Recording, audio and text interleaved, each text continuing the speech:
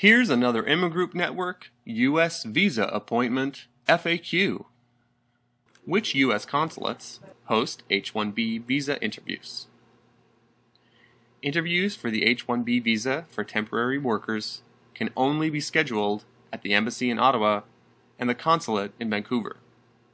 For professional guidance or for help expediting your application, please visit immigroup.com slash usvisaappointment.aspx.